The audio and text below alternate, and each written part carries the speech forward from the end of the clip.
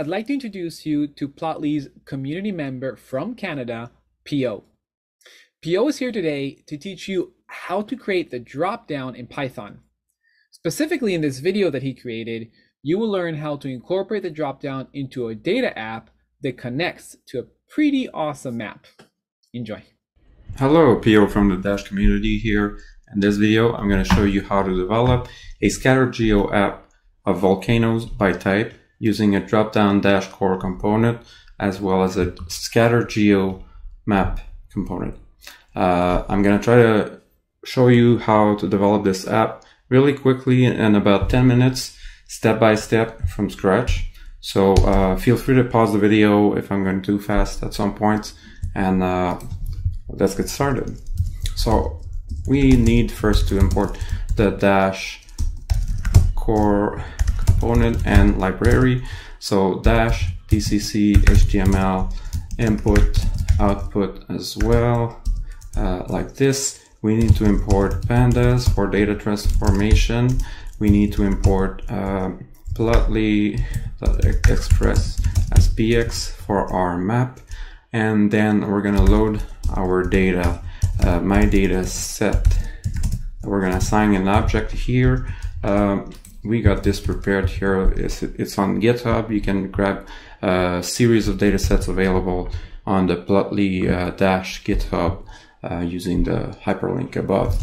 Uh, so we're just going to copy paste that here and now we're going to create a data frame with pd.read csv and uh, use the object we've assigned here, my data set. Now we need to use an encoding that's going to set it as latin because there are some characters of languages other than English here and it's going to cause a bug uh, if we don't do that. Um, we've already explored the data set and uh, here's a glance at what it looks like. We got a number of columns um, describing the volcano names, country, region, latitude, longitude, elevation, type, status, and last known. So uh, let's get started with the app now. Uh, app equals dash dot, uh, underscore underscore name. That's going to be our app. Now we're going to have to define the app, the app's layout and we always get started with an HTML div like this. We're going to grab a component. We're going to start with a header just for a tiny bit of style. We're going to name this app uh, my volcano app simply put. Uh, let's now, we now need the drop down menu we always have to assign an ID. So uh, let's name it my drop down. And uh, uh, for this, we're gonna assign a series of options. Now, here, since we're building an app around volcano types, uh, we're gonna grab all of the unique values in the type columns. So uh, we're gonna do df type unique here and we're gonna assign an initial default value of uh, let's pick this one stratovolcano uh, so that looks good and now we want to add uh, this we don't we want to close the DCC dropdown first and add our graph. So DCC graph ID is going to be my scatter geo. And and that's all we're gonna need for now. Uh, we're gonna use the uh, app decorator now and assign an output. Uh, we need to assign this output to my scatter geo and this is going to be a figure. Now for the input we use my drop down and this is going to be a value. And now we define a sync input function. We're going to assign a uh, just a name that would be appropriate uh, volcano selection here and this is gonna need to return a figure so let's define a figure uh, plotly express Uh, no, that's Plotly Express uh, scatter geo. That's right. df.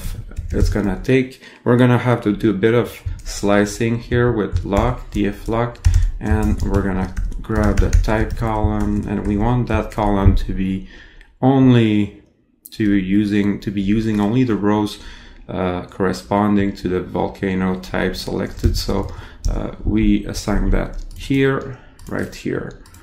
Um, this is gonna control the amount of data that we need and as you can see here these are the other arguments so uh, we'll assign the latitude to latitude as we see here this column name um, we're gonna have the longitude we're gonna assign it as well longitude um, we're gonna assign a size for the bubbles to represent the height of each volcano.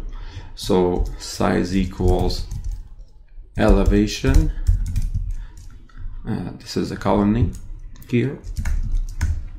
And uh, why not have the, um, the name of the volcano displayed on the bubbles as we hover ho over them.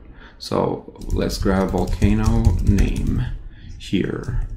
And that's gonna be it. And we just need to return the figure. And next up we go with the final um, if underscore underscore name is equal to main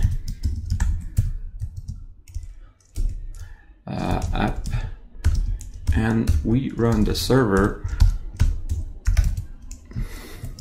with the app and for this demo let's just put the debug to false and run that.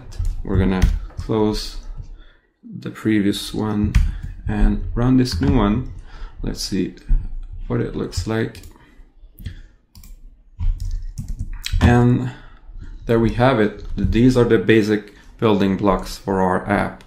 Now the rest of the of the the other parts are going to be mainly styling. For example, we could want the title to be centered. So here we could add a style equals uh, text text align center, for example. And uh, now we stop the app and we relaunch it. And here we go. As you can see, the title is now centered.